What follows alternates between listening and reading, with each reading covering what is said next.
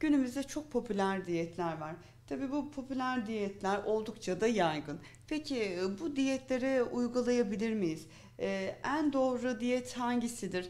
Ee, genelde hep işte aç kalıyoruz. Gün içerisinde aç kalıyoruz. Ee, pazartesi günleri diyetlerimiz oluyor. İşte su diyeti, protein di- diyeti. Peki en uygun diyeti izleyenlerimize paylaşabilir miyiz?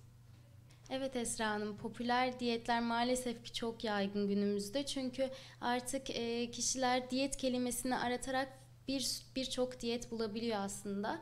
Bunlar sonucunda çeşitli diyetler ortaya çıkıyor. İşte dediğiniz gibi protein diyetleri, e, değişik değişik tek tip beslenilmeye giden aslında sonucunda diyetler.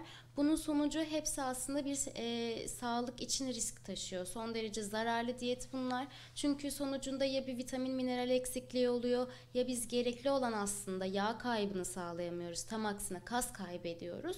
Ve e, sonucunda ya şeker hastalığımız e, oluşabiliyor ya tansiyon hastalığımız oluşabiliyor.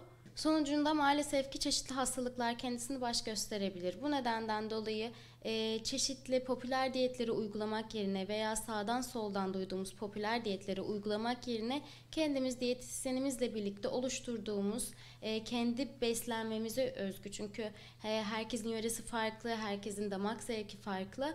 Bu yüzden e, sen bunu ye, illaki bunu yemek zorundasın, bu besini zayıf- zayıflayacaksın diye bir şey yok. Zaten tek başına mucizevi bir besin de yok. Kişiler genellikle bir şey yiyeyim ve hemen zayıflayayım, e, hızlı zayıflayayım düşüncesindeler. Fakat biz bu kiloları nasıl e, çok hızlı almadıysak, yıllar içerisinde aldıysak e, vermemiz de o şekilde yavaş yavaş yağ kütlesinden e, kaybederek olmalı. Bu şekilde son derece sağlıklı zayıflama gerçekleştirebilinir.